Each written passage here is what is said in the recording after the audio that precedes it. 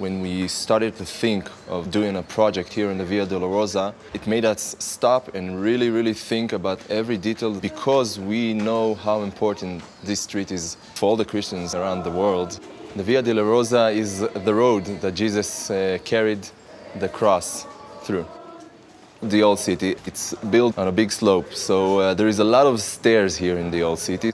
We are planning to do a project that will make the, the street accessible for disabled people. We're using a stone that was carved here in uh, Jerusalem or the area in order to preserve the old tiling here in Jerusalem and keep the place original as it's possible for the visitors. Combined with that, I think you need to make it accessible, to make it a place that people can live their daily life, not only the pilgrims, one of a lifetime tour to Jerusalem. The people who live here needs to put their grocery in their houses.